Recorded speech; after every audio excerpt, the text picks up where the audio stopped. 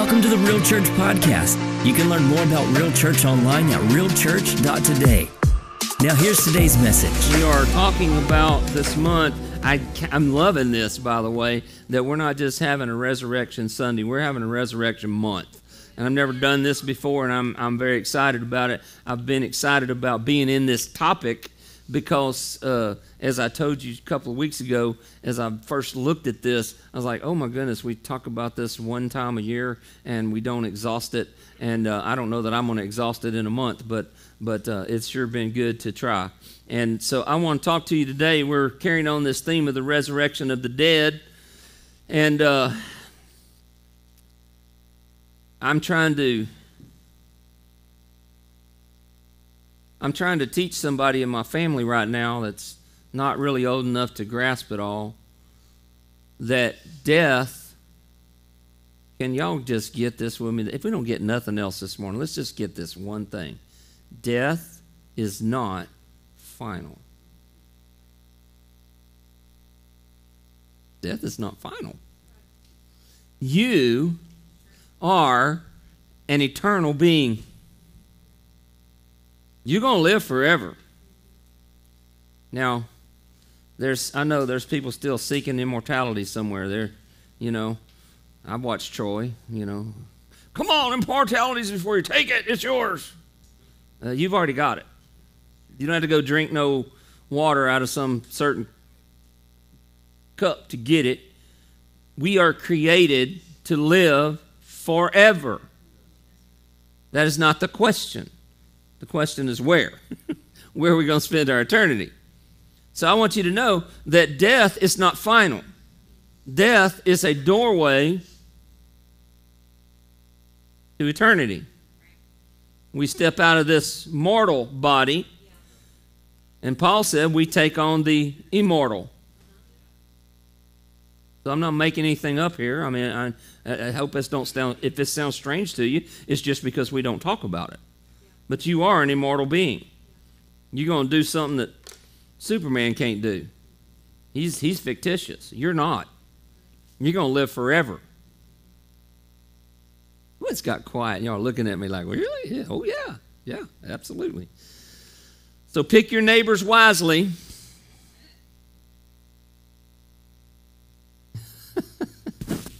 we bought our place in Tarkington, and the people we bought it from uh, the man that lived at our house in Tarkington before us had built the house. He was 93 years old when he passed away. He had six or seven children, something like that. And uh, they were all fussing over his estate.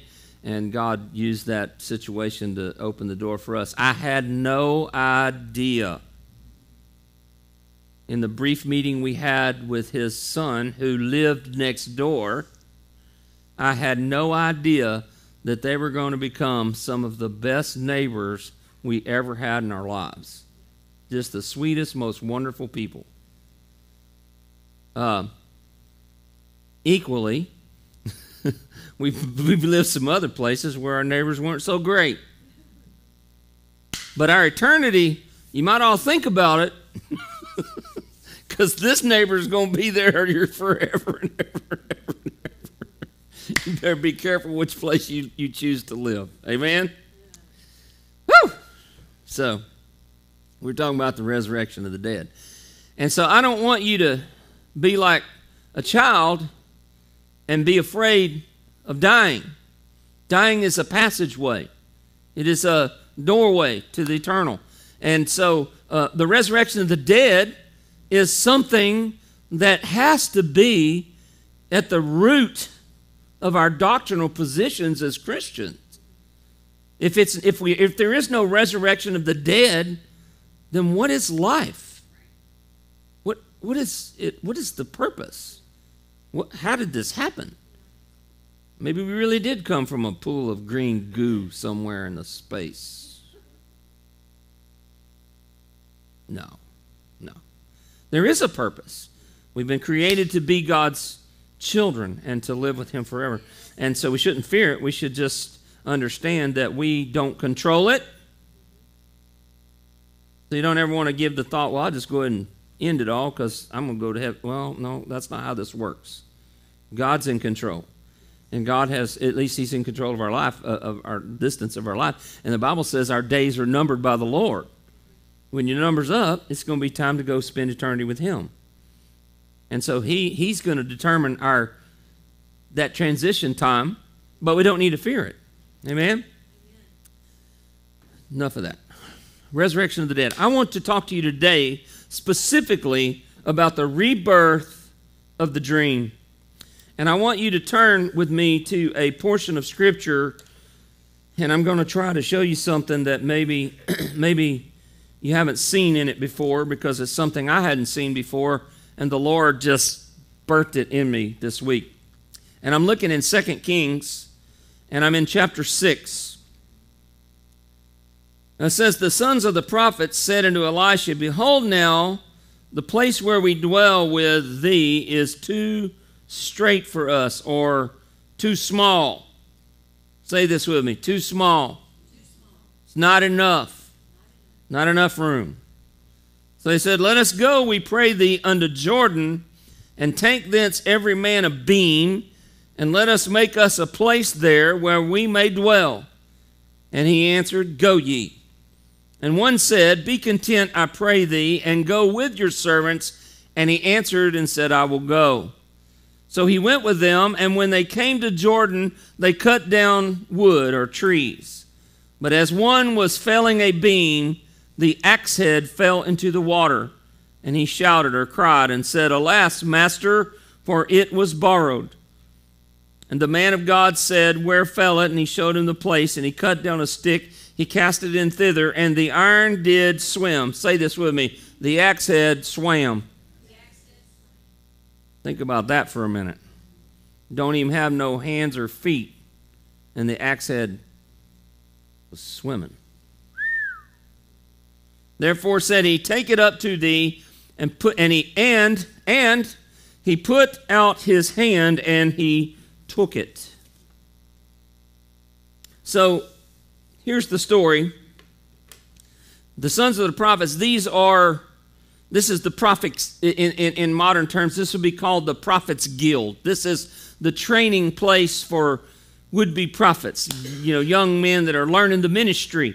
And, uh, and so they said, Look, there's so many of us, this place we're in, it's a little small. It's time to build a bigger place. And, uh, and we think that we should just go and find a place. And the prophet of the Lord says, I'm with you. I, mean, there's so much in this, so I'm going to just give you some little glips and glurps this morning. Uh, it, uh, if you've got something that the Lord is birthing in your heart, share it with somebody who's going to encourage you. Don't don't share. If you got a naysayer in your life, just keep it to yourself. Don't even tell them, because they're not gonna they're not gonna help you. They're not to speak words of blessing over you and encouragement. Man, I want somebody around me that's to say, You can do it. I, y'all, I, I don't know if I've made this clear enough to y'all, but I, I was not a good, I was, I was not a great athlete growing up. I was good at a few things. I was never really great at anything. And, but I'll, I'll tell you, it, my daddy uh, had, had, it's kind of weird. My dad, he was very vocal. Uh, he's very loud, uh, loudest guy at the baseball park. Um, um, my dad was, had always had a struggle of controlling what he said but he had an understanding at some point in his life, growing into a, his Christianity, that, that what I said was important. And so, although my dad probably said some things he wished he never said, my dad was a great encourager to me when it came to athletics. My dad was a natural athlete. I was not a natural athlete. I know I look like it, but I wasn't. Shut up, Blake. And uh, so my dad, who could just you could just say some some sport, and my dad just elevated to the top of it. He just was that guy. I wasn't. And my dad probably knew that from the very beginning, but my dad, when it came to sports, always told me how great I was at it, how much I could succeed at it, how I was as good as anybody on the field. Now, you could say that's just a doting father uh, speaking something that's not reality. But isn't that what the Bible says to do? To speak about those things as if they're not, as, as if they are when they're not? And so my dad always encouraged me, and, and there were moments you've heard me tell it I, I, where I'm, I'm facing a pitcher that I just in my mind there's just no way I can't hit this guy. I remember the the first boy that I ever faced that could throw a real curveball scared me to death. And I remember everybody in the dugout talked about it. Then this guy, he's unhittable. He just his curveball is unhittable. Well, let me tell you something. When a 13 year old boy starts throwing a curveball, you need to be scared because they don't control it very well. I mean, it sometimes it's a strike. A lot of times it's hitting you in the head because they don't they lose control of it. And so he was, yeah, he could strike you out, but he was scary. And I think that fear got in my heart. And I, I, I first two times I faced him, just three swings, and I was out. And and I remember my dad every time going back to the dugout. This is why I do this to Micah I, if I can. Sometimes I can't, but if I can stand there by the fence when he goes by, even if he strikes out, we're all saying, "Good job, baby. Good try. Good swing. You got this ball. You got this machine." I always tell him it was the pitcher. The pitcher wasn't very good, and that is a fact because that machine will throw him low or high or whatever. And uh, I'll say, your daddy threw you one high. He just needs to fix the machine. And uh, but I try to tell him, you know, it's you. You got this. It's good. You got it. And my dad would say, hey, hey, hey, hey, hey, hey, hey, don't you lower your face. You keep your head up and you go back out there. You got this guy. And I remember thinking, yeah, well, you're not the one up there worried about getting beamed. You know, it's not as easy as all that but it's the truth. His words encourage me. You need to be with people who, when you have something that God has birthed in your heart, if you're going to share it, don't share it with the gossip club. Don't share it with the naysayers. Share it with people of faith who are going to look you in the face and say, You got this, man. You got this. Yes. So they said, We're going to do it. And the prophet said, We're going to do it. Let's do it. And so you know, I, I, had a pastor years ago say that. He said, Look, if somebody walks in here in my office and they say, We need to do something, I say, Yes, let's do it. Get after it. We went to Tommy Barnett's conference and he said, Hey, we have 250 working ministries in this church because people get, I have the reputation that if you want somebody to encourage you and support you, you're going to find that in Tommy Barnett. And uh, he, he shared a story, and the, the guy shared his testimony. He brought this guy out, and he brought his ministry with him. He was he started a homeless ministry in Phoenix and uh, I'll tell you how it started. He was living in Houston, and God spoke to his heart, and he said, I want you to go to Phoenix, Arizona, and start a homeless ministry. He said, But Lord, I don't know anybody there. The Lord said, Don't worry, I'm going to provide for you. Just go. And so him and his wife sold their stuff, and they show up in Phoenix, Arizona. This is a Texan through and through. He's uh, about 60 years old, wearing a big old wide cowboy hat and cowboy boots, and he goes to Phoenix. And so he said, Well, my first thought when I got there was, We've never done this. We don't know how to do it. And so we got to we got to get a part of a church. And so he said, we started to go to churches and we went to this church and that church. And he said, everywhere we went, I would, I would meet the pastor after the service and say, hey, my name's so and so, it's my wife, and we've been called by God to do this ministry, blah, blah, blah, and we're looking for a home church. He said, after about 10 or 15 churches that we went to and got zero response from the pastors, he said, I was at my wits' end. He says, matter of fact, I was mad. And he said, We got up one Sunday morning, and the Lord said, Go to First Assembly of God.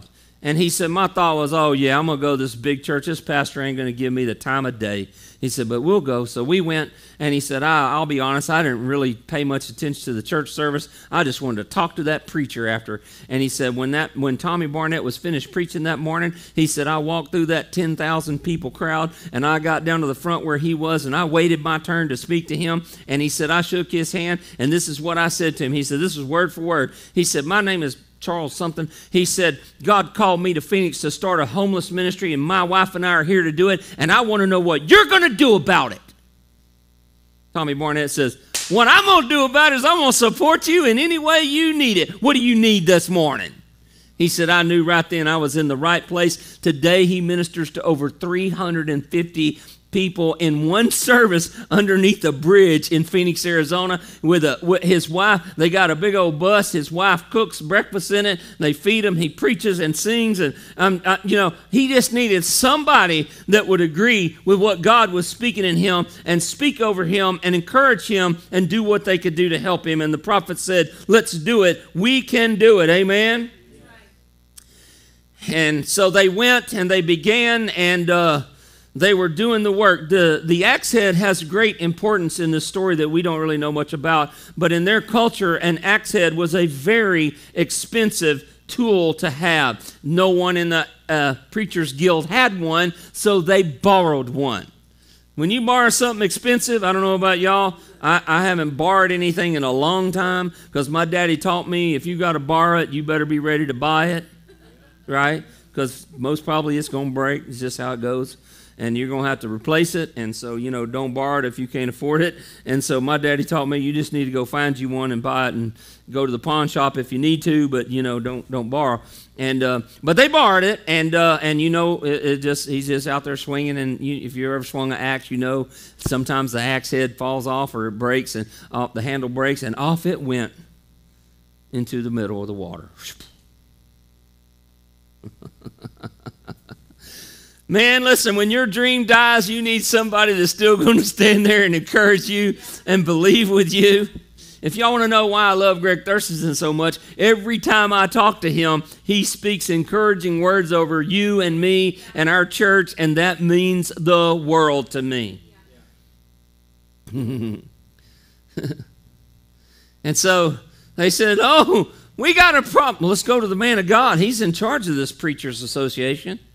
Let's go to him. He's the big dog. Let's see what he wants to do about this lost, you know, expensive piece of equipment. And they said, We've lost the axe head. He said, Where did it fall? They said, Well, it splashed right out there. And the Bible just says he reaches over and gets a stick and whew. Imagine everybody watching said, Do you need an illustration of where it fell in there? I mean, I know the water's calm now, but seriously, you gonna throw a stick at it? But he must have been praying under his breath, huh? And he threw that stick in there, and then they saw something that you and I have never seen unless you watch cartoons. The axe head. I have watched the cartoon on Veggie Tales, and but anyway, the axe head sprouts some uh, fins, and that dude comes swimming up out of the water. Woo! Won't you? Don't you wish you'd have been there? That's what happens when people of faith have somebody that speaks faith over them because when you speak faith, God listens.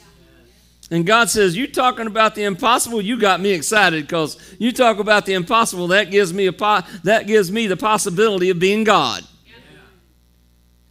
and so while they thought this is crazy, the man done talking talking faith and throwing a stick at a water pond to get a, a metal axe head to come up off the bottom. And yes, ma'am, yes, sir, it came up off the bottom and it swam and they got it back and and uh, they finished their building. Listen, sometimes the very thing that God has put in your hand to make your dream happen gets taken from you they had a dream of a bigger building. But without that piece of equipment, they can't cut. They don't have chainsaws. They're not cutting down another tree. They're not going to put up another log. They're not going to build anything else till they get another one or get that one back. And sometimes when, when the thing that God has put in your hand to make the dream a reality, when it's lost, it's not time to give up. It's time to believe up. let, let me give you some phases of the dream. I got to move. We, we're going to run out of time and they're going to shut the TV off and all that. There's phases to a dream. There's always the birth of the dream. That's the moment you see it and go, wow, I'd like to do that. Birth of the dream. I wish Zach was in here to hear this. Well, maybe he don't need to hear this. Yeah, he really don't need to hear this right now. Zach just got his driver's license, drove to church for the first time this morning. Thank you, Jesus, for protection. thank you for patience and temperance and all that stuff. Amen. Thank you, Jesus. I got my license and didn't have a car. Well, it's a long story, but I was having to drive my mom's Pinto Squire station wagon. If you've never driven a yellow Pinto station wagon with the fake wood on the sides, you have not lived yet. Four cylinder, automatic, so zero power. My brother, when he got to drive it years later, would pull the emergency brake on it and put the gas to the floor because it had one emergency brake in the back and it wasn't on the drive wheel, so it would stop with the emergency brake on and it wouldn't roll. But the wheel would he he would hold the gas down until it found it would go er er And he would smoke the one time. Anyways, yeah, just crazy stuff. Mom didn't know that till after she was much older. But uh, that car didn't do much for our ego. and so I done turned 16. I'm driving, and I don't have a car. And my dad said, when you get out of school this year, I got you a job waiting for you out the plant. Well, you had to be 18 to work at the plant, but dad knew the guy in charge of maintenance and got me a job. And so at 16 years old, I was working an 18 year old job, and I was making unreal money for a guy my age working out in the plant for the summer. I worked three months, saved up all of it, much as I could. And uh, at the end of the summer, he said, uh, I said, I'm going to buy me a car. So we shopped, and I found the love of my life, a 1973 Camaro. My mother's words to me were, Yes, you can have it. You work for it, go get it. My dad's words, absolutely not. It's not going to be your first car. He was a police officer. Do you all understand? He said, That's bad news, going to get you in trouble. That was a prophetic word. That car got me in a lot of trouble, got me in fights, it got me almost killed several times, it got me in jail. I mean, yeah, it was, uh, yeah. But that, but when I saw that car, that was the car of my dreams. My mom was the one who said, You can do this. You can have it. Well, it was more than, it cost more than I had. I had saved enough money to buy a car, but not that one. And uh, so when we, we, long story short, I was $500 short. And my dad, my mom, which was a really cool story, talked my dad into loaning me the $500 that I needed to go ahead and purchase the car. And I bought it. But when I saw it, it wasn't what I wanted it to be. It was just the car I wanted. And within six months, I ripped that car down to the frame and just rebuilt the whole thing. It took me months. My dad was, it's a long story. But I got that car where I wanted. I sold that car because I made a choice. Our, our, first child was born. I'm not going to tell you which one it was because I don't want him to feel guilty that I had to get rid of my car. But I got rid of my car for him, and uh, it was a pretty good trade. And and then as soon as I did it, I was like, I should have never got rid of it. I have that car again now, not the very one, but I've got another 73 Camaro. It's sitting in my shop, and I'm just going to tell you that the dream that I had then for it, I have a I have a rebirth dream today for the one I have over there. I'm going to put the same girl in the passenger seat, though. So that that's not changing. I'm going to change a few things about the car, how I do it this time, because I'm a little older and wiser. Hello, and uh, and I'm gonna. It's going to be a little different, but I'm I'm at work on it. It's going to happen. And it, it may have died for a while, 30 some odd years that dream died, but it has been resurrected. And so what happens is there's always this excitement when you see it, and then there's the announcement of it. That's what I want, that's what I'm going to do. And then in this story, there was a building of synergy. You've got to build synergy with people who can buy into your dream and will help you and, and cultivate it and nurture it and, and whisper about it. That's what in, uh, uh, in, in, uh, in, the, in the movie Gladiator, before the, the good king dies, he is, he is telling, he's telling uh, uh, Maximus, he's telling Maximus, there was a dream that was Rome, and it was so fragile you could only whisper, and it would die. Listen, your dream will die if you share it with the wrong people. They'll start telling you, you don't have enough money, you don't have enough strength, you don't have enough ability. My, my grandchildren will never hear it off my lips that you're not tall enough, or you're not strong enough, or you're not fast enough, or you don't have the ability. Tell that to Jose Altuve. you're too little. You're from a foreign country. You'll never make it. You don't even, you're not even a citizen. What? Got over here, got, and everybody in the minor league said, You'll never make it. You're too little. You're not, you, you, no. Come on, y'all. I don't know who was in his life in the other ear, but somebody was speaking to that boy, telling him, You can do this. You can do this. Nobody ever tells Spud Webb now that a five foot four inch guy cannot dunk a basketball. I, have got video I've watched. It's I watched him when he was when he came into the league as a rookie, and everybody's talking about it. And I was like, "This kid ain't what? Did he just he just dunked a basketball?" Made me feel white. I'll tell you that. I ain't never been able to. I, I can almost dunk one on an eight foot goal, but anyway. A 10 foot goal? Come on, y'all. Wow. So you build synergy. And then what follows that is the arrival of the roadblocks, the pitfalls, the opposition, the unexpected difficulties. Nobody expected we're going to lose the axe head in the middle of a pond, yeah. which causes the loss of zeal and excitement and momentum and everything that you had going for you because now we had this unexpected roadblock. Y'all listening this morning? You have these unexpected things that just happen in life and you didn't plan for it. You didn't. Hmm. I thought I had this all figured out. and then, if we're not careful, what follows that is we just forget about it. We just forget about it. Now, y'all going to laugh about this, and that's okay. That's okay. I mean that. It's okay. I had a recurring nightmare for over 30 years. And this is the nightmare. It was always somebody coming to me saying, Where's your car?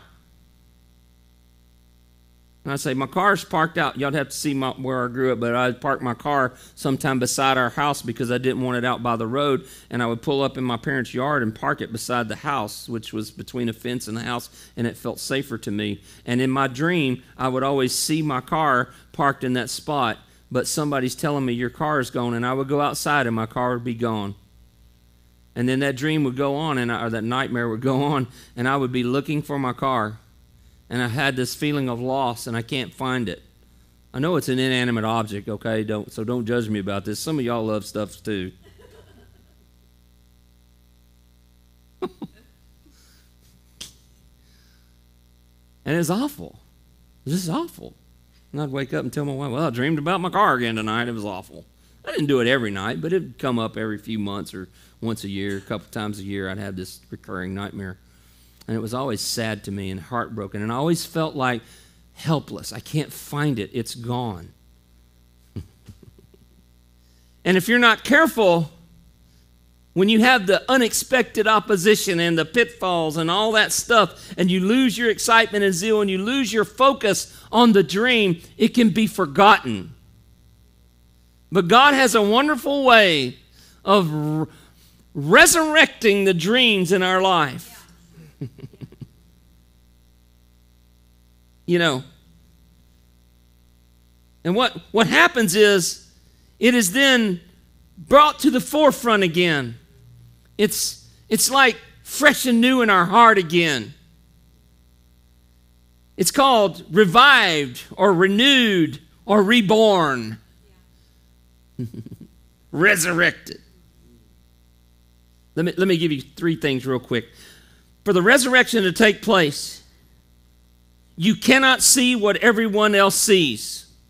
You just can't. I know we talked about it last week, but we're talking about it again this week. You cannot see what everybody else sees. We are not like everybody else. We are God's children. Oh, John and Carol were my parents, yes, but uh, parenting only lasts until you're out of the house. They're really, you know, we don't parent people after that. We try to encourage them. We, I'm not parenting. I don't take David out and spank him anymore. He needs it, but I don't do it.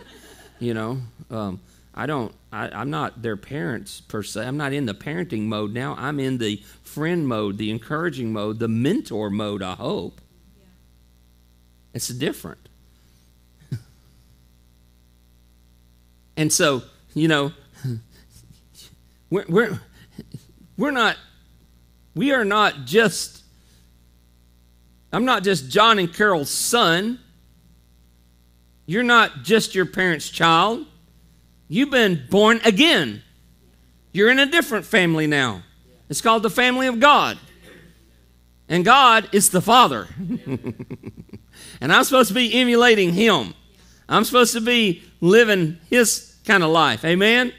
And so, as His child, I am in the world, but I'm not of the world anymore. I'm still in it. Uh, yes, I'm still identified as David Crowson, but I've got a different name written down in heaven. The Bible says when I get there, I'm going to get a new name that's written down in glory. Amen? And, and so I, I'm in the world, but I'm not of the world. I, I, I, look like I, I, look like I belong here, but I don't belong here. I'm a pilgrim just passing through to get to my eternal home, which is with God. And so, because of that, I don't see I, I don't see like the world sees. We're not fact people anymore. F A C T. We are faith people. F A I T H. We are faith people. We do not see through eyes of facts. We th- see through eyes of faith. Superman looked normal until his eyes turned orange and flames came out of him. Huh? That's how we are. We may look like we belong here, but we don't belong here. We've got something the world doesn't have. We've got faith in God, our Father, and we are supposed to exhibit not only His gifts and fruit, but we are supposed to exhibit His power.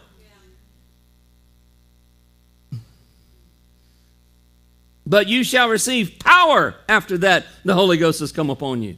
And part of that is our faith. It's, it, it's put into action because we know who we are putting our faith in. I'm not putting faith in an axe head to float. Are you kidding me? Or to swim? I'm not putting faith in that metal to do something it wasn't built to do. I'm putting faith in God my Father who can make something that wasn't made to do it, do it. Yes. Nehemiah Bible says in Nehemiah chapter 1, verse 3, they said unto me that the remnant that are left of the captivity there in the province are in great affliction and reproach. The wall of Jerusalem also is broken down, and the gates thereof are burned with fire. That hurts my heart because that's how we see our world today. Everything is falling apart. But when Nehemiah got there and he saw the wall and he saw the desperation of the people and he saw the beloved city of God in disarray, he, he the Bible says he went out and he began to, began to cry out to God and he said, Our sins are ever before us, and we have we have allowed the sin of, of, of, our sins to destroy your city. And he said, God, if you will, I will race it back up. Why? Because Nehemiah saw something that nobody else saw. They walked around and said, Well, we've lost it all. We don't know what's going to happen now. That's why we walk around in despair. Our city's gone. We have no wall of protection. We have no place to live. This place is crumbling around. We're going to have to move and do something different. But Nehemiah said, No, this property belongs to God. And I see it as a successful, prosperous place and a blessed place. And he says, God, if you will help me, I will raise this place back up. You cannot see what everybody else sees. You got to see what God wants you to see. God places dreams in us and visions in us because He wants you to see what He sees.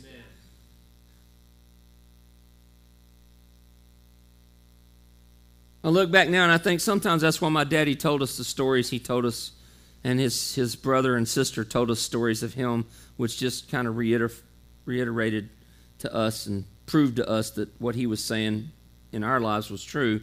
Because if you met my dad, you'd say, Well, you don't look like much. And Of course, I'm not talking about when he's young. I'm talking about when he's older. He said, "Well, he just look like an old cowboy." I mean, well, he just had to see him when he was younger and just know that he just excelled past his own physical abilities. He he wasn't the most muscular guy. He certainly wasn't the tallest guy. Um, but um, but man, could he do stuff? And so he would he wouldn't speak to us about what he saw he'd speak to what about to us about what he saw. Not what he saw, it's what he saw. Nehemiah says, I'm not speaking about what I see, I'm speaking about what I see. God, this is your city. your city don't belong like this. Your city don't, this is your city. Your walls aren't supposed to be crumbling. Your people aren't supposed to be desperate. Your people are supposed to be blessed and prosperous. And this land is supposed to be beautiful. And this city wall should be the best around. And, and I'm going to, you just help me, God. You give me a plan, and I'm going to do it. Mm. So don't, don't see what everybody else sees. And here's the deal resurrection begins at the source of life. The devil walks about as a roaring lion seeking whom he may devour. He wants to steal, to kill, and to destroy. So anything that wants to live, it's because God's involved. Um, I don't know. Maybe we'll find out the facts. Well, we will find out the facts when we get to heaven. I don't know how much effect you know man is having on the planet. I don't know, but there's some people believe that we're destroying the planet. You know, by by too many cows passing gas and you know and all that stuff. And it's not it's not really the the jet that John Kerry's flying. That's not the problem. It's the cows. But um, anyway, it's just utter foolishness. But I think we are going to find out that some of it's true. And, uh, you know, I know that we, it's amazing to me. This amazes me. We have an asphalt, somewhat asphalt driveway at our house. It's got to be redone, but we, we got somewhat of an asphalt driveway. But it amazes me that over time, dirt will form in the cracks of asphalt, and where you can't put your finger you can't even get a tool in there, a plant will sprout up. Unbelievable. Because it comes not because man gave it an opportunity, but because God has put life in the seed, and all that seed needs is a little bit of dirt, a little bit of water, and a little bit of sunshine, and it's going to pop up. So when it comes to resurrection, it begins at the very source of life. John said this, chapter 6, verse 68. Then Simon Peter answered him, Lord, to whom shall we go? Thou hast the words of eternal life, and we believe and are sure that, though, that thou art Christ, the Son of the living God. Where else can we go? Peter said. Where, that's what the old song says, where could I go? But to the Lord. There ain't nowhere else to go for life. Who's going to give you life? There's nobody controls life. I know. I know some of folks in charge in this world right now. They think they control life. That's why they're okay with killing babies and all this stuff because they can control life. And if you're old, they can just turn the machine off and you can just die because you're not worth anything. They think they control life, but I got news for you. They don't control life, and and they the, the one that controls life is the Lord Jesus Christ. He's the one that spoke this thing into existence. He's the one who, who came to give us life and more abundantly. He's just the opposite of the enemy of your soul. He came to do just the opposite of what the devil wants to do, which is take away your life, take away your family, take away your job, take away your church, take away your freedom. And God's over here saying, No, I want to give you freedom. I want to give you life. I want to encourage you.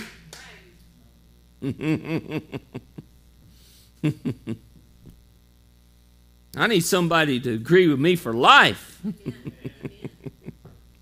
This thing will live. This situation will live.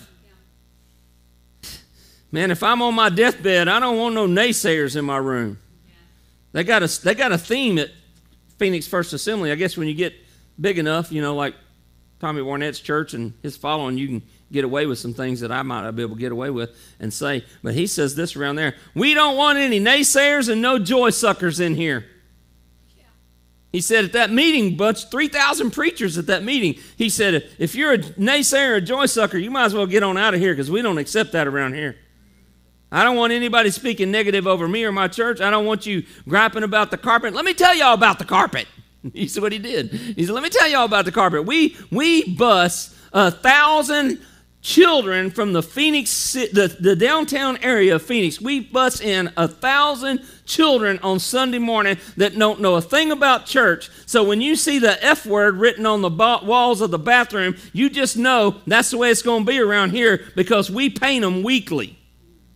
But these kids come in and they're just they're just rough kids and they and you see that carpet? We change this carpet out in this church every 3 months.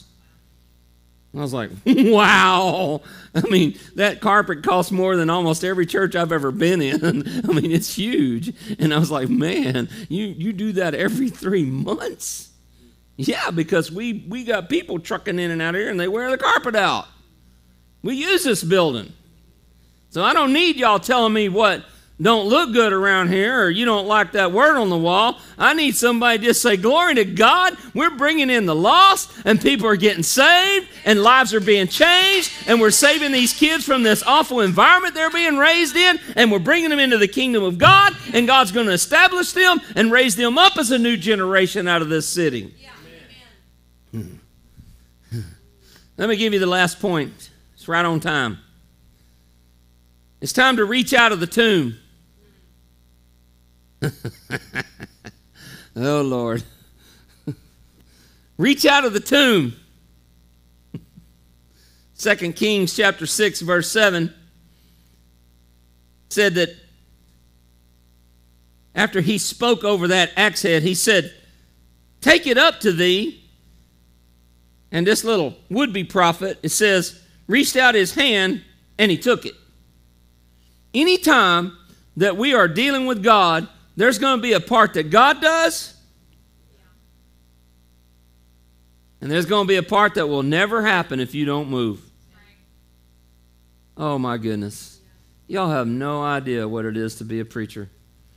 There are so many times I, I walk out of a pulpit. I've been in so many places and revivals and so many crowds of people where I preached, and I walk away. There's always this feeling I hope the one that was supposed to get that reached out and took it.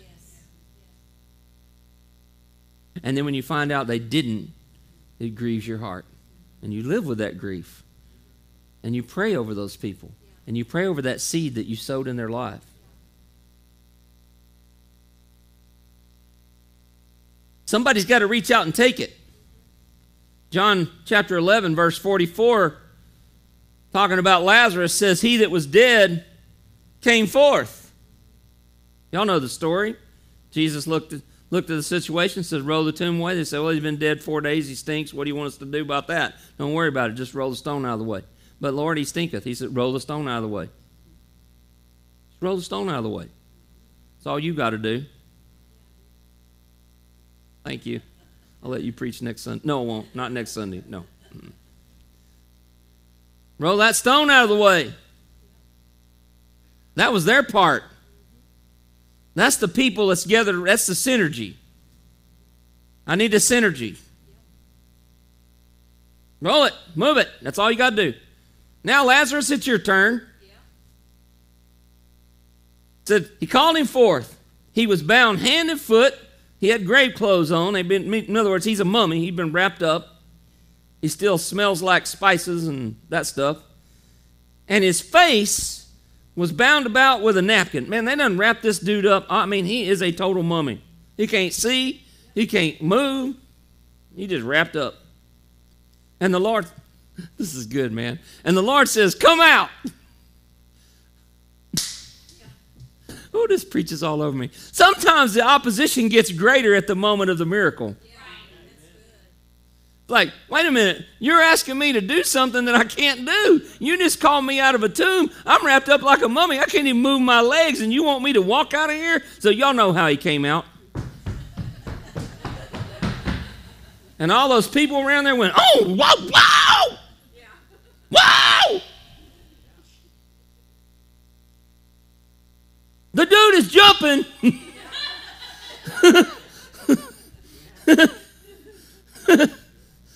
Jesus said, Come on, y'all. this is how Jesus preaches. Y'all just don't know it. He said, Come on, y'all. What are y'all waiting on? Get the stuff off of him. The boy's trying to be free here. That's your part now. You got to help the preacher. He's been set free. You got to got to help him a little bit. That's why preachers always stand in the pulpit and say, "Can y'all help me this morning? We're just trying to get the grave clothes off. Come on, y'all."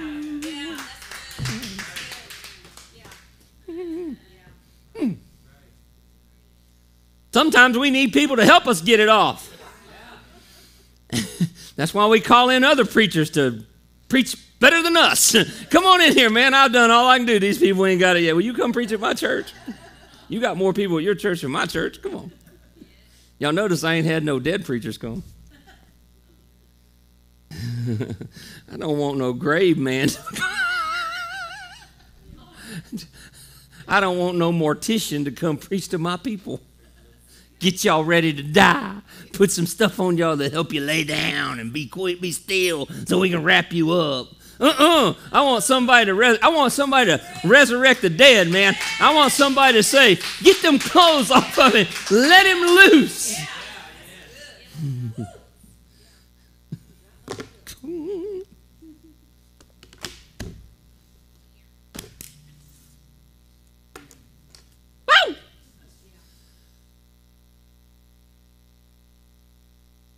How do we bring this down to us? You gotta be, you gotta be like me this morning. You just gotta be like me. There's some things that the Lord has spoken in your heart. There's some things that maybe 30 years ago. I'm not talking about cars right now. I'm just that was a maybe that was a poor illustration. But maybe it'll get you thinking about some other things that are much more important in your life. There's some things, man, I've got some things that, that's in me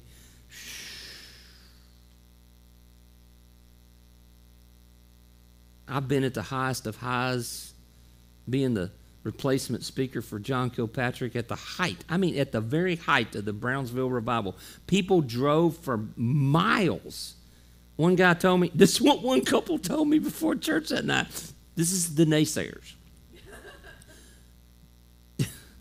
I've just been told that morning. I get a phone call because I'm on the team. I'm preaching the morning services, and, and I get this phone call, and it's the pastor. He says, Man, something's come up.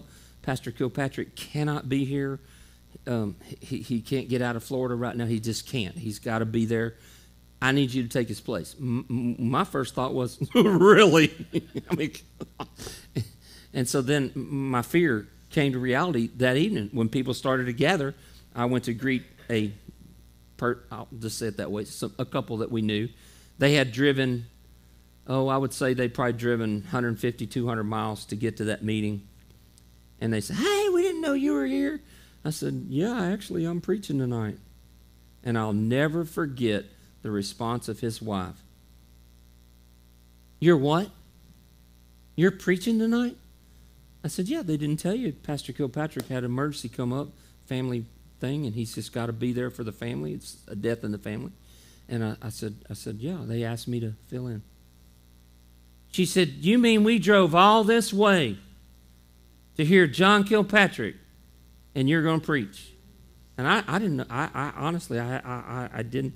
I kind of felt their pain. I mean, you know, I felt the same way. I wanted to hear him preach too, but come on, y'all! It's not about the vessel. It's never about the vessel, it's about what's in the vessel.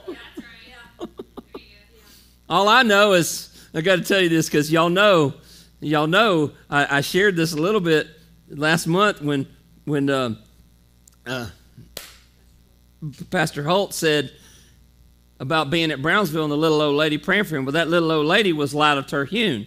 Lila Terhune was the other speaker at that convention. There was three of us. And so I get to the front pew. Now, I just left this conversation. Now the crowd's gathering. And so, you know, uh, I just go back to my seat going, wow, this, wow, you know, okay, whatever. So I just kind of filed that in the naysayer joy sucker club, you know, and forget that and I'm up there trying to encourage myself in prayer and looking over my limit. I only had like three notes for that night. I know y'all don't believe that, but it's the truth. It's just one of them nights that I just didn't have a bunch of notes. I just had a thought in my. I really, literally, it was dropped on me that morning, and I had one thought for the night, and that is the glory of God. That was my thought, the glory of God. I don't. Even, that's all I had. And I, I, was sitting on the front pew and I was praying, and I was like, "Oh God, oh God, oh God!" And Lila Terhune comes over and sits down next to me and she says to me, I am so excited that you're preaching tonight. I can't wait to hear what you're going to say. Oh God, Jesus, Jesus, Jesus. I just remember thinking, I don't have a lot to say right now. I just got one thought. But man, if I'm going to be encouraged, I want a Lila Terhune to encourage somebody who's been in revival for two years and has watched the glory of God. I'm going to talk about the glory of God. I want that lady next to me encouraging me and pray. She said, I'll be praying for you while you're preaching. I'm like, yes, ma'am. Please pray. I mean, come on, y'all. That, that's like God just showed me. You got one over here that don't want it, don't believe it, don't know what's going to happen, and you got one that says, I can just see what God It ain't about you. It's not about you. It's about God, and God's going to do something in this place. And hallelujah! you say, well, Pastor, you don't know the difficulties I've been through with this thing. You don't know what the, how the dream is falling apart. You don't know all the opposition. Well, I'm not talking about the opposition this morning. I'm talking about the one that's for you and with you and never leaves you and never forsakes you and makes a way where there doesn't seem to be a way and parts the waters and rains down manna out of heaven. Oh, we ran out of water. Well, it's going to come out of the rock. Well, we lost the axe head. Well, it's going to float. I mean, it's just all through your Bible. And so, I know y'all are special. and y'all are at the walls of Jericho. And the walls of Jericho are literally wider and bigger and take up more space than the city that's within it. It's wide enough to race six chariots side by side on it. That's a six lane highway, y'all. That's crazy. Around a city that only takes up a total of seven acres. It's, it's very small. But God says it's yours and you're going to take it. So, Pastor, you don't understand. That's my situation. I got a wall that's bigger than the thing that God promised. But God doesn't look at the wall. God just talks about the promise. So we're not talking about the wall this morning. We're talking about the promise. We're talking about God birthing something in you, the God of the universe who created the planet and everything that's alive on it, He's the one talking to you about your life and your situation. And when He speaks, the waters move and the winds blow. I mean, the opposition runs in fear. And by the way, Gideon, they're going to turn on themselves and kill each other before this is over.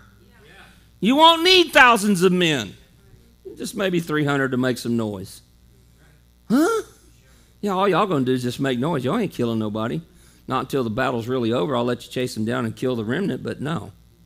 No, I'm gonna take care of the bulk of this. I just need you to believe. Oh man. I just need you to believe with me. I just need you to believe with me. I just need you to believe with me. I need somebody to stand with me and say, I believe. I believe the Lord's report. I, I don't believe the report of the enemy. I, I, I believe the report of the Lord. I sent out some spies and one for every tribe, and they came back and they all were at the. They were all 12 at the same place at the same time, saw the same thing. But 10 of them saw, and two of them saw. Y'all with me? 10 of them saw, two of them saw what God saw. God saw his land. God saw their future. Ten of them saw the enemy.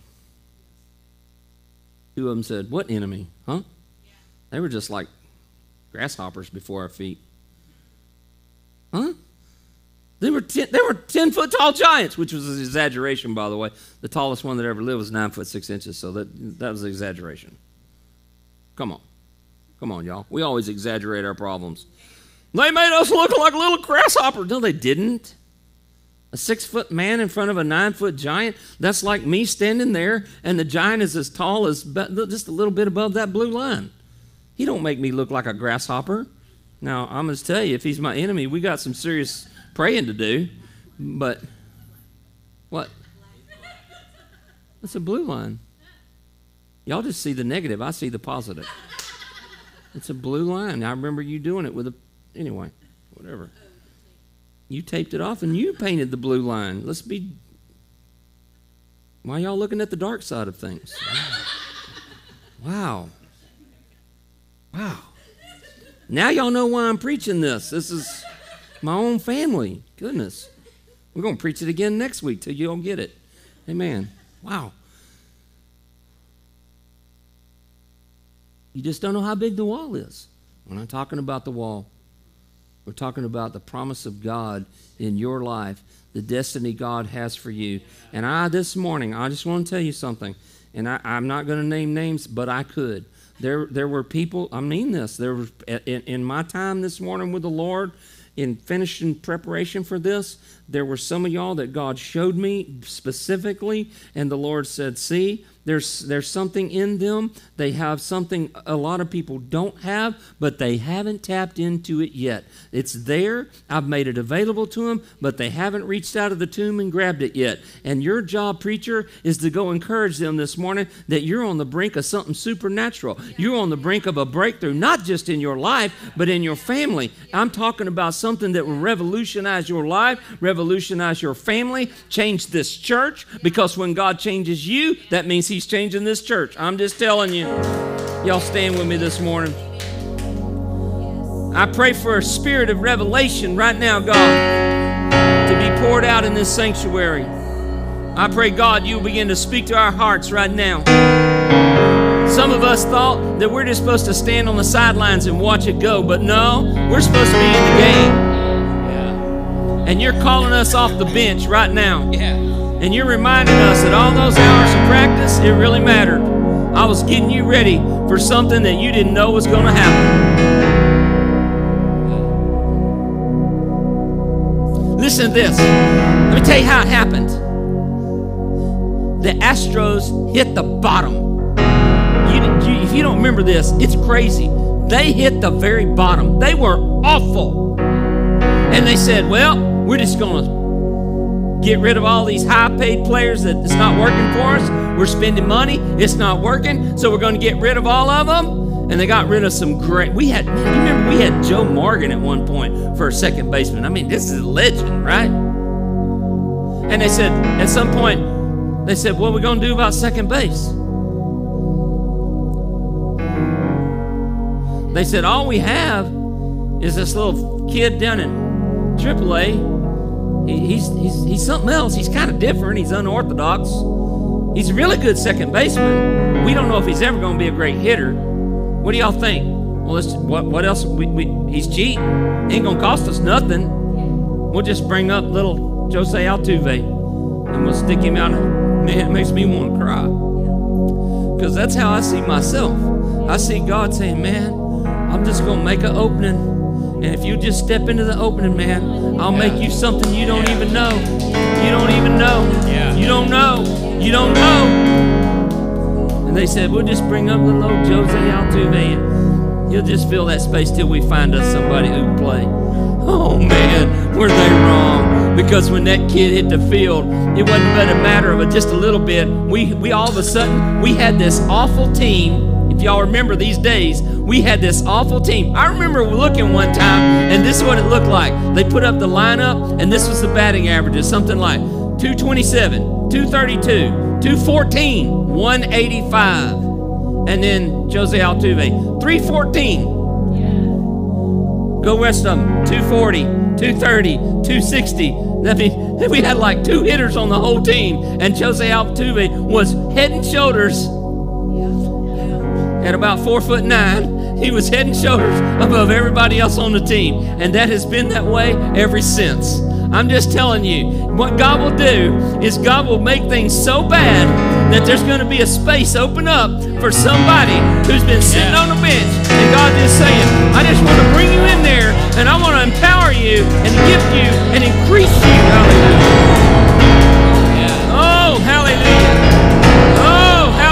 Come on, just give him glory this morning. You're worthy today, Lord. We glorify your name. We say, God, you are able to do exceeding and abundantly above anything that we could ever ask or think according to your power that works inside of us. We are not what we see in the mirror. We are what you see. We are not what people say. You are what you say. Hallelujah.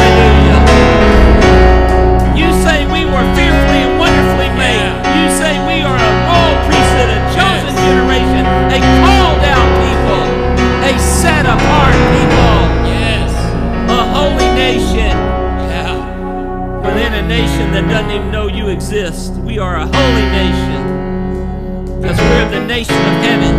Yeah. Hallelujah. Hey, let's be bold this morning. If you got, man, listen, God's been speaking to you while I've been preaching. There's a dream inside of you that has been sitting dormant. It,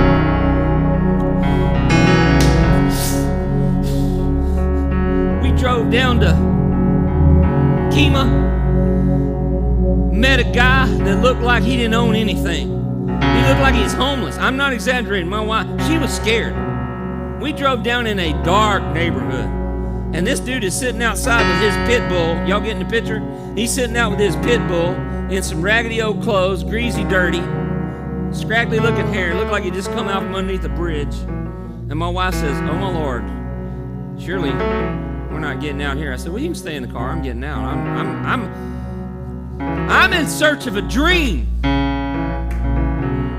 I ain't looking at that boy. I ain't worried about his dog. I want to see this car. It got worse. I said, Hey, where's the car? Car's not here. My heart sank. I thought, Oh, it's one of them deals. Okay, where's the car at? Well, the car is just about a mile down the road. You'll have to follow me. He goes over and gets in an old beat up Dodge truck that I didn't even think was going to crank. I mean, it looks like it came out of a junkyard. His dog runs under the house and he backs out and we follow him. She says, Where are we going? I said, I don't know. She said, David, seriously? I said, I don't know. He said, We're going to go down there in about a mile. And so we drive and we turn, we make one turn, and the sign says, Dead end. Y'all seen that movie? Okay. And we mm-hmm. drive down into what looks like a jungle, man. It's just woods. And, the place we stop, we stop. There's nothing where we stop. He pulls off the side the road and stops at a ditch. He just pulls off on the side of the ditch. She said, What's he doing? I said, I don't know what he's doing. Guy gets out. I pull up behind him. I get out. She, I said, Just stay in the truck. It's fine. So I get out of the truck. Hey, dude, where is the car? Because I'm getting a little concerned now because she's, she's kind of speaking fear into me and I don't have a gun with me, okay? And I'm not the most athletic anyway. Anyway, so I said, "Where is the car?" He said, "It's right over there." All I see is grass growed up, and I'm, I, my thought was, "Oh my word!" I know what I'm fixing to see. I'm going to see a rusted out piece of trash that you lied about because he told me it had zero rust on it, which to me is a miracle because I've been looking for 30 years for one without rust that just don't exist. And I'm thinking, oh my Lord, we went on a wild goose chase. I've driven two hours down here and I don't even see a car. It's buried in the grass. Probably been there for years. It's a piece of trash. I said, Where is the car? He says, Right there. I said, Okay, well, take me to it because I don't see no car. We walk through the, we make a trail through the high grass I'm thinking snakes and death and that kind of thing. Well, I didn't realize he was pointing to the other side of the row of bushes at the fence line.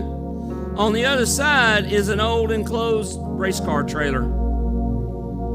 He said, The car's in there. I felt better. When he opened the door, I couldn't even believe it.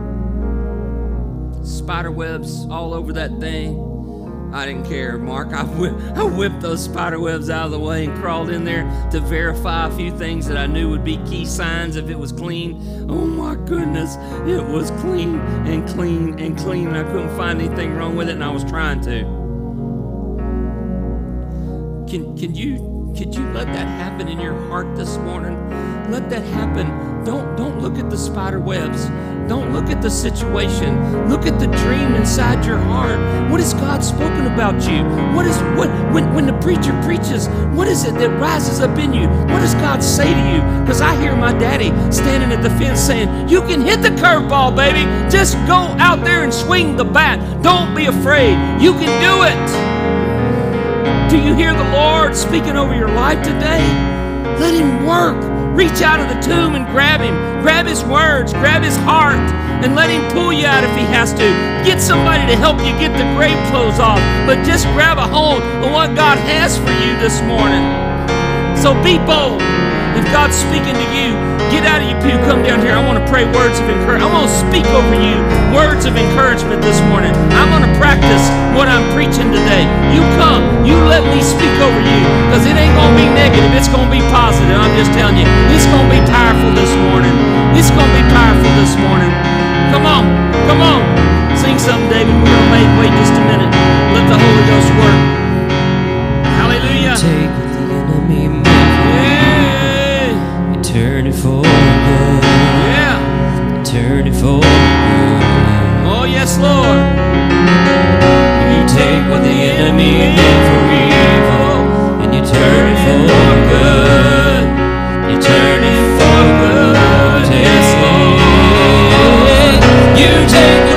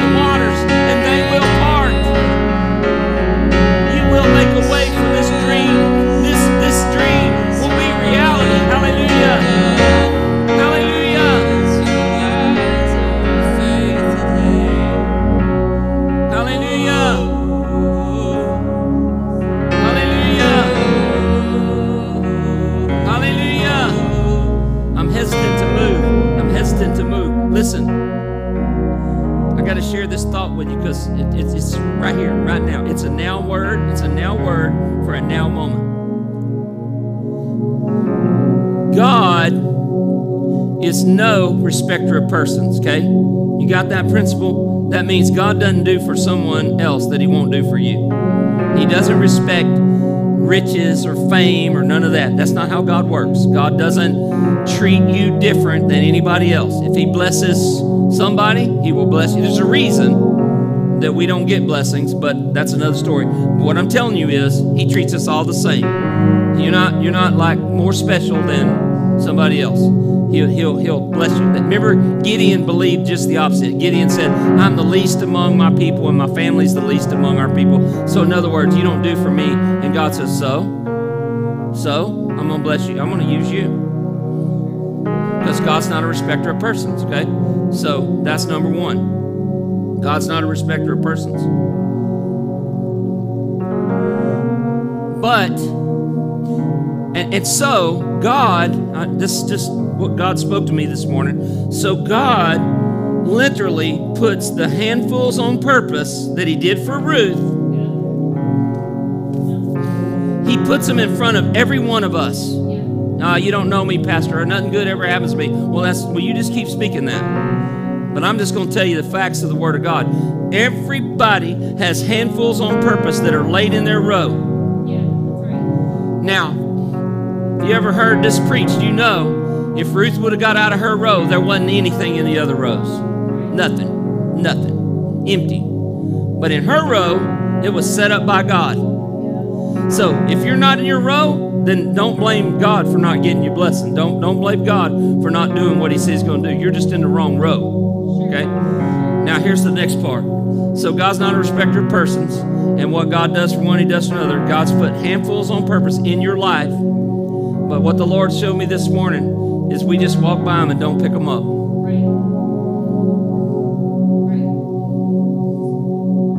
We just don't pick them up. I get this taught to me on a regular basis by God. God puts things in my row all the time, but but but I've been taught by my father that you got to reach out and grab it. And I don't always even have the support of my wife in this sometimes because she don't see things, certain things like I see them. And I'll say, "Hey, I'm gonna buy this so and so," and she'll say, "Why?" I'll say, "Because I'm gonna make money on it. God laid it in my row." Well, we don't have the money. Yep, but it don't matter about the money. I'm not looking at the money. I'm looking at the future of this. I'm gonna buy it, and everybody in my family's gonna grab because it's sitting in my driveway. But then when I sell it and make it a thousand dollars, everybody's going, "Oh wow!" Happens every time. Every time. It's the same pattern every time. Oh, Dad, why'd you buy that? Oh, honey, why'd you buy that? Because I, because God put it in my row, and I'm gonna make money on it. You watch and see. Happens all the time. I'm fixing to teach my son something. My neighbor just gave us a bunch of furniture. It's not much count, but let me just tell you something. There's a lot of people that need cheap furniture. We see it all the time. He said, Why are we loading this up, Dad? It's, it's not worth getting. I said, Because I'm going to sell it and make money on it. You watch and see. So God's going to teach him something.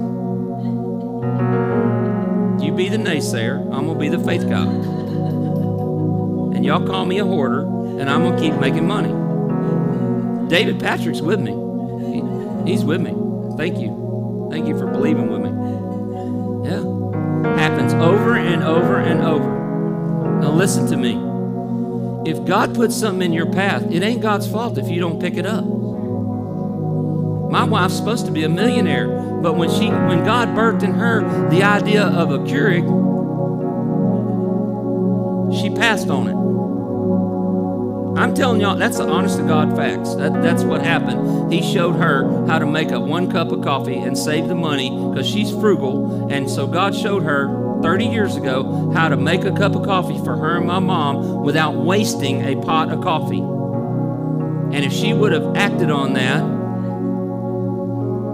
wow. I guess we'd be billionaires today. And maybe we didn't it didn't happen because God knew I wouldn't be good with that much money, so he didn't let it happen. I don't know. I'm just telling you, it was there for the taking, Dave.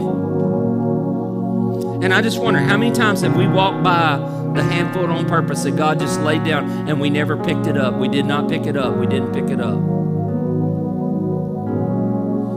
Today, let today, let today be a change in your heart and a change in your focus so that you begin to walk in the idea and the belief that God is going to bless me.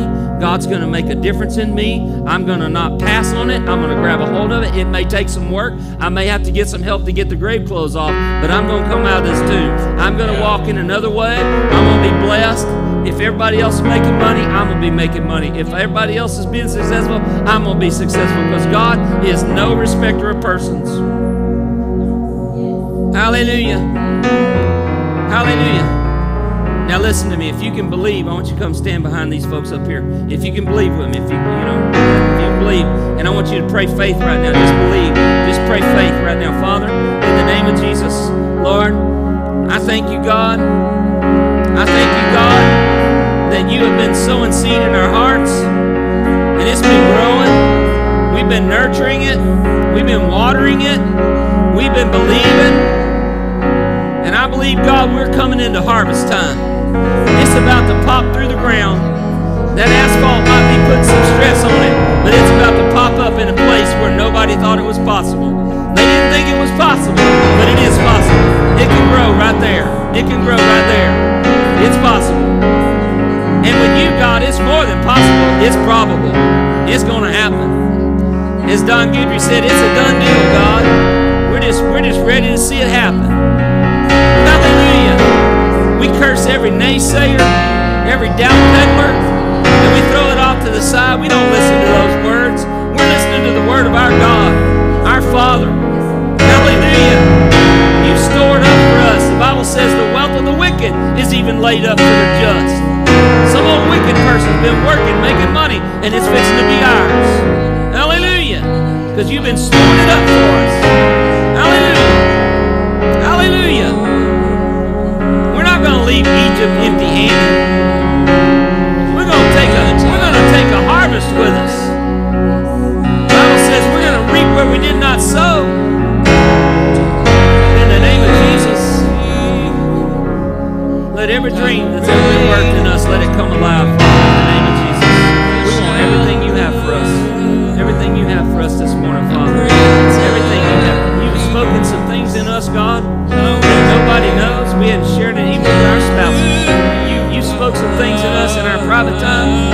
we've never let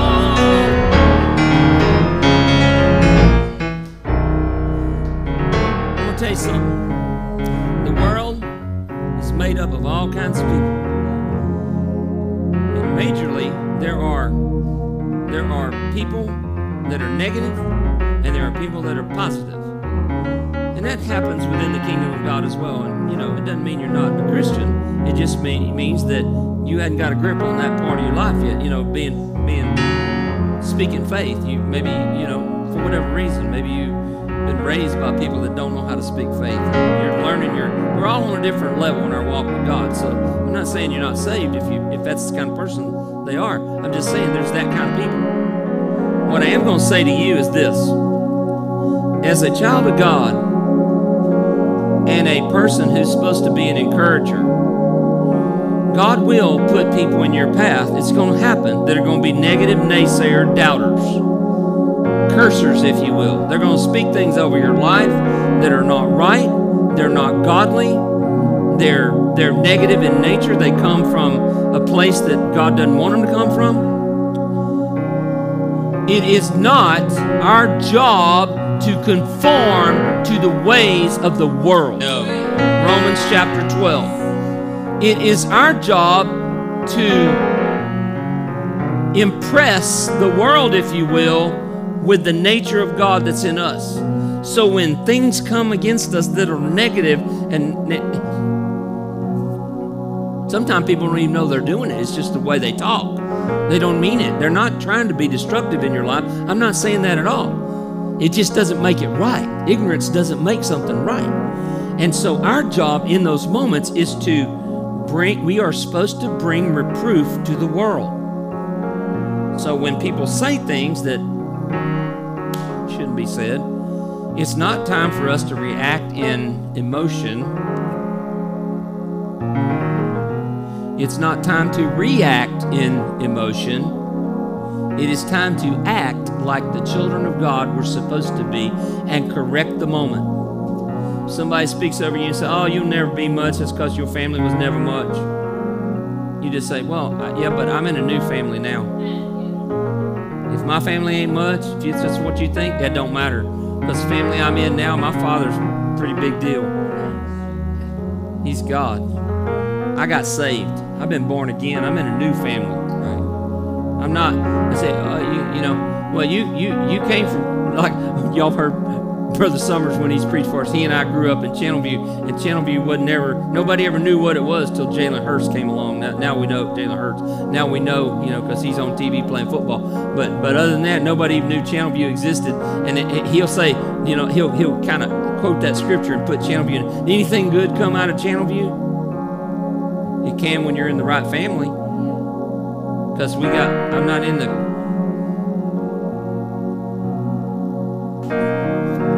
I'm in the world, but I'm not of the world anymore. I got reborn and I'm in a new family. My DNA changed. There's ways to address things so people aren't offended. How many of y'all know we're not supposed to repay an offense with an offense? Right. I'm just preaching to myself right now. Okay? You're not supposed to lash back with an offensive religious reaction to, how dare you? I'm a man of God. No, you're not. Not in that moment, you ain't. You ain't acting like God at all. no, that's not, uh No, we don't repay an offense for offense. We, we speak life into a dead moment. Hmm? And on the job, at the house, wherever. We, we reprove each other all the time. That's what good relationships do. When she says things she ain't supposed to say, I'll say, You shouldn't have said that. That wasn't right. And then about 10 times a day, she'll say to me, You weren't supposed to say that. Okay, you're right. You're right. Because we're trying to reprove one another. I got a lot to work on with her. Y'all just don't know. Oh, I mean, she's got a lot to work on. Yeah. that's that's what you do. And so, if you really love people, then God's going to put some people in your life and some situations in your life. Maybe somebody you don't even know. You just have a moment of transaction with them at a business or somewhere. You just, you know, just a happening happens and a moment happens. That's our moment to bring life to a dead situation. Make sure we choose our words wisely. Take a moment. I've been doing that a lot. I have to do that a lot, man, because I'm a talker and I'm, I'm easy to talk. And so I have to catch myself and say, wait, whoa, whoa, whoa, don't talk, don't talk, don't talk, don't talk. Just listen, listen, listen. And then I listen to the Holy Spirit and say, okay, God, what do you want me to say? okay, now I can respond so that I don't react, but I act in a, in a godlike way and say the right thing in a bad moment. Sometimes you know, the doctor makes a declaration over you, just take a couple deep breaths, don't respond to it, and let the faith rise, and then you speak a faith thing right behind that. He says, you know, you got this or that, you just say, okay, well, I understand what the report says, but I'm not a fact person, I'm a faith person. So I'm just going to believe the report of the Lord, and the report of the Lord says I'm healed. So, Doc, what do we need to do to get through this? Because I'm going to get through it. I'm just telling you, I'm going to get through it. I'm, not, no, I'm not going to die from it. Uh, no. Don't care what the I don't care what the blood report says. I don't care what the uh-uh. We're gonna get through this. You're gonna speak life into a dead situation. That's how you do it. That's how you do it. Amen. Amen. Amen. Woo! Feels like Easter Sunday morning. I like this resurrection subject. It's good. Amen. Uh, four o'clock today at our house. Uh, we have two chefs that we have hired to prepare for you fish and shrimp. It's not going to cost you a thing. Um, if you look on their faces, they paid the price for it yesterday. They're sunburnt and tired and wore out, but they got us fish and, and shrimp. I don't know where they got the shrimp. I'm sure it was hard to get in the lake, but anyway, they got it. And uh, so, four o'clock at our house, come over there. To have all the fixings. It's to be great. Sun's out. Y'all can sit in the lawn chairs in the backyard and smell the fish fry. Amen. Everybody's invited. Everybody's invited. And if you want to bring somebody, bring them. Amen. I'll give them my portion. They can have it. Amen. I invited my neighbor over yesterday who really likes to eat.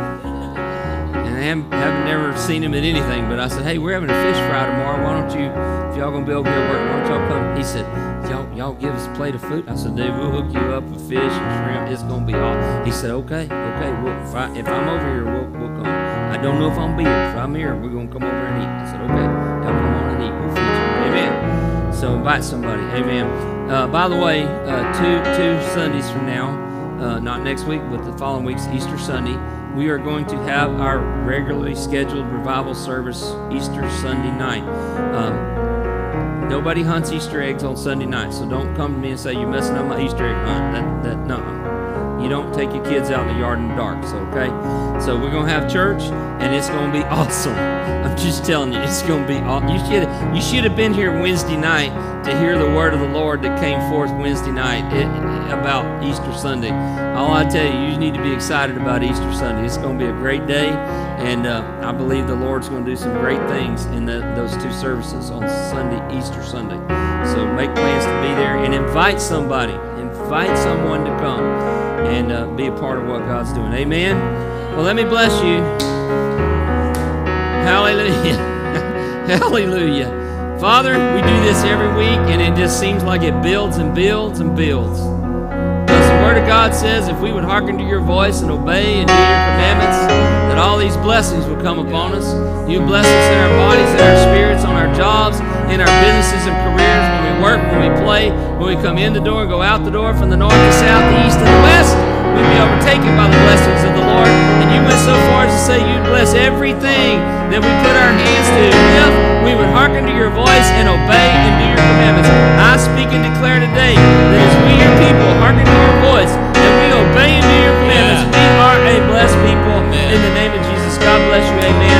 Have a great day and I hope to see you this evening.